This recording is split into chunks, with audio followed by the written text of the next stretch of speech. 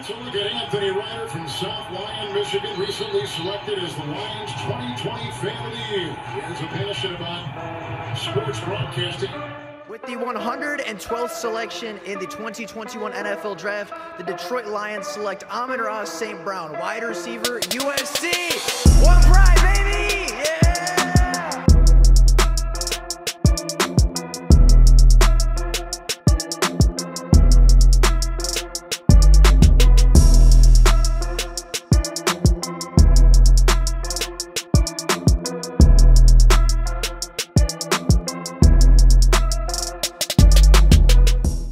What is going on, everybody? Welcome back to another Detroit Lions video. Now, the Detroit Lions had a tough situation go on in free agency, they had a very tough decision to make.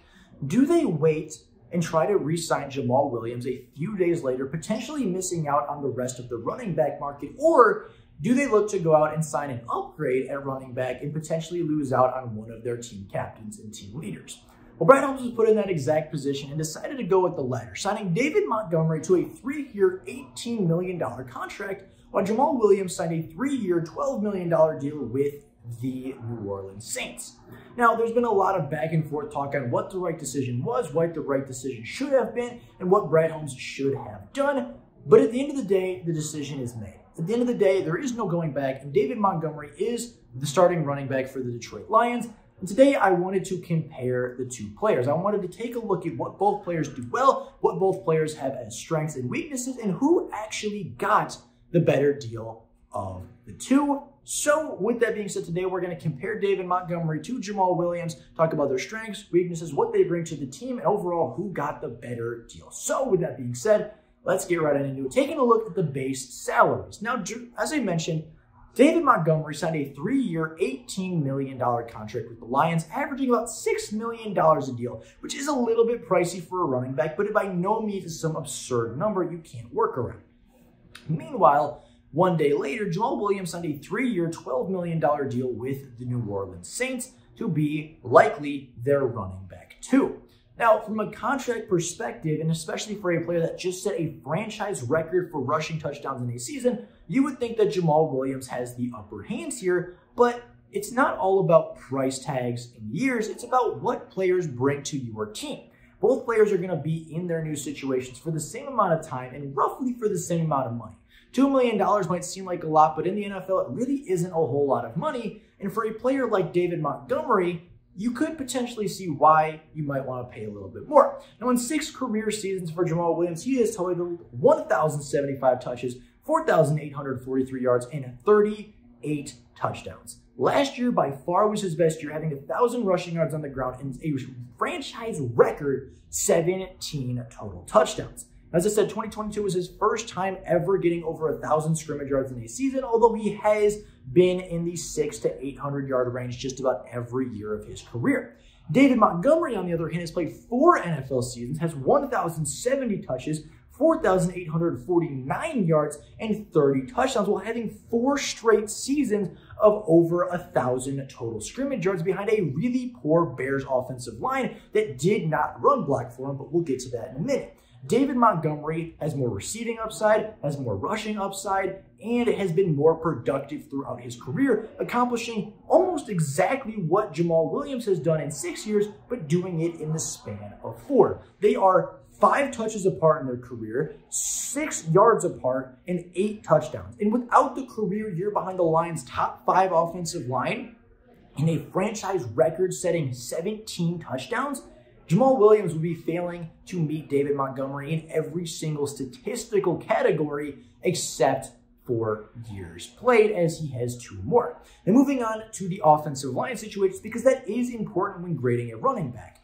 Now, when taking a look at last season, Jamaal Williams averaged four, averaged 2.4 yards per carry before contact last year, meaning every single time he touched the ball, he was averaging getting about two and a half yards in front of the line of scrimmage before ever being touched by a defender.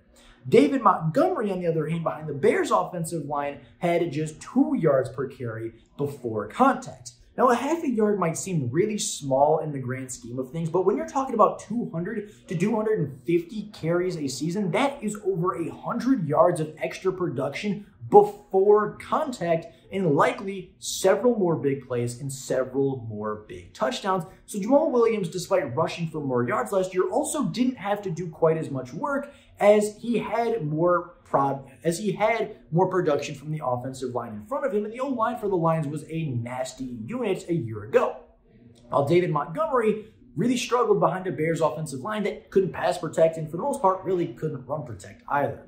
Now, looking at what they can do after contact, because that is something that Ben Johnson noted, that he wanted his running backs to be better after contact. He wanted them to play better after what was schemed up for them, because while Jamaal Williams averaged 2.4 yards per carry before contact, he only averaged about four yards a carry on the season, meaning he had less than two yards after contact, while D'Andre Swift had quite a few more. But David Montgomery is at that two yards after contact number, which again might not seem like a lot, but when you're talking about a third of a yard over 200 to 250 carries, that is quite a significant difference between rushing yards and lost rushing yards, right? That is a pretty big, almost 100 yard difference in yards gained versus yards lost, and David Montgomery wins those yards. He gets those big plays. He breaks those tackles. He had more broken tackles last season than Jamaal Williams by, I believe, seven, and did so while playing behind a really, really poor offensive line. even while doing so and splitting carries with Khalil Herbert, and of course, splitting carries with Justin Fields,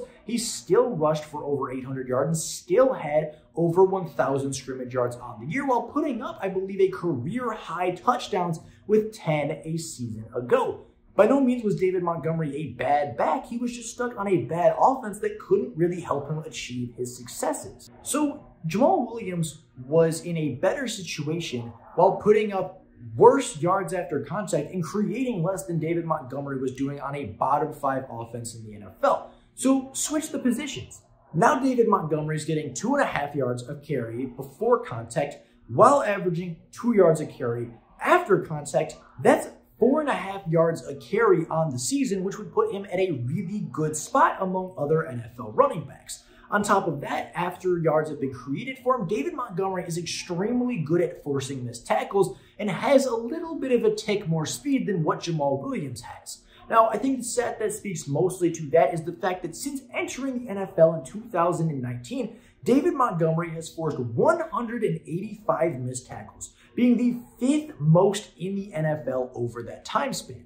Meaning he makes people miss more than just about every single NFL running back. And when you look at the tape, it's pretty evident as to why. He has really good body control, really sharp cuts, and just an extremely strong style of running.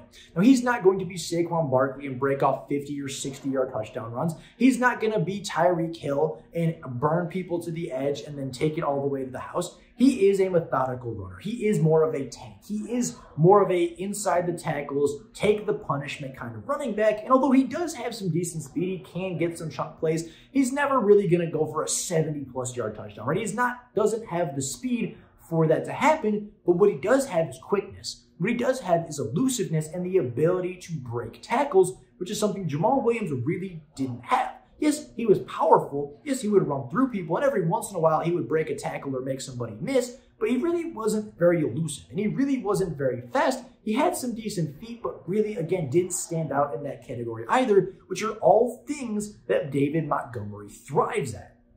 Now, where did Jamaal Williams have the advantage? You're talking about rushing touchdowns. You're talking about a power back. And David Montgomery, despite being lighter on his feet, despite being more of an elusive back than a power back, certainly has some power to break tackles. And even if he's not running through people as far as putting them on the ground, he's running through people at a higher rate than Jamaal Williams as far as breaking tackles or getting around them.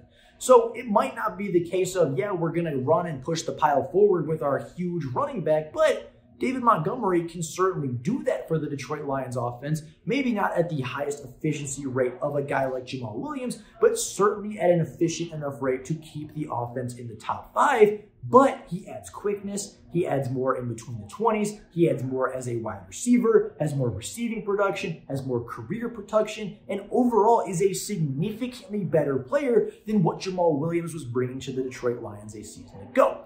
Now, that being said, I don't think either team really lost here. I think that Jamaal Williams is going to go to a place where he can continue to play that role behind Alvin Kamara of a goal line back, of a touchdown machine, and somebody that is probably going to get 150 to 200 carries a season.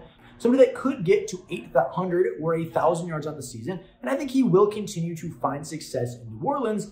But the Lions got a better back. The Lions got a better receiving back. They got a better back between the 20s. And I don't think they're going to really lose out on a whole lot in the red zone as a rushing offense either. So for $2 million extra a year, the Lions get a significantly better running back in just about every single possible way. So, with all that being said, that is all for you guys today. Let me know down in the comments below what do you think about this whole situation? Do you think the Lions got an upgrade? Do you think the Lions missed out? Who do you think won this side of the free agency period? I'm very curious what you guys think. But with all that being said, that's all I got for you guys right now. Thank you all so much for watching. And until next time, and as always, go Lions.